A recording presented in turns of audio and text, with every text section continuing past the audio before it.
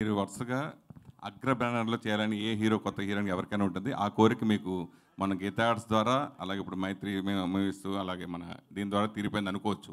అయితే అగ్ర దర్శకుల్లో మీరు చేసేవన్నీ కొత్త దర్శకులతో చేస్తున్నారు.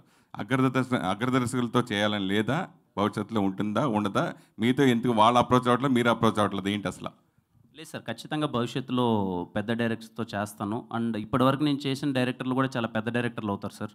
సో ఖచ్చితంగా నా ఉద్దేశం ఏంటంటే నేను ఇంతకుముందు చాలా సందర్భాల్లో చెప్పాను సార్. నాకు అవకాశం అనేది చాలా కష్టంగా వచ్చింది.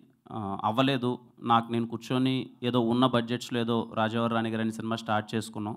తెలియకుండానే ఐ ఫీల్ నేను షార్ట్ ఫిల్మ్స్ నుంచి ఒక అతన్ని సినిమాలకి ఇప్పుడు వచ్చాను. చాలామంది ఇంకా కొత్త టెక్నీషియన్స్ అందరూ రావాలి. అది నా సినిమాల ద్వారా జరిగితే నేను చాలా హ్యాపీగా ఫీల్ అవుతాను. అందుకే ఎవరైనా కొత్త డైరెక్టర్ ఒక కథ తీసుకొని వస్తే తనకి ఎక్స్పీరియన్స్ ఉందా లేదా నా ఇమేజ్ పెరుగుతుందా నా క్రేజ్ పెరుగుతుందా కమర్షియల్స్ వర్కౌట్ అవుతాయా నాకు రెమ్యునరేషన్స్ పెరుగుతాయా అనేది చూడండి సార్. ఒక కొత్త డైరెక్టర్ వచ్చి మంచి కథ వస్తే యా ఒక కొత్త సినిమా చేస్తే చాలా మంచి టెక్నీషియన్స్ బయటకు వస్తారు కదా అని ఎక్స్పెక్ట్ చేస్తాను సార్ రీసెంట్గా థియేటర్లో అంటే అంతకుముందు థియేటర్లు మీకు సక్సెస్ఫుల్గా రన్ అయినా రీసెంట్గా రిలీజ్ అయిన సినిమాలు థియేటర్ కంటే ఓటీటీలో కూడా బాగా రికార్డ్స్ సృష్టిస్తున్నాయి.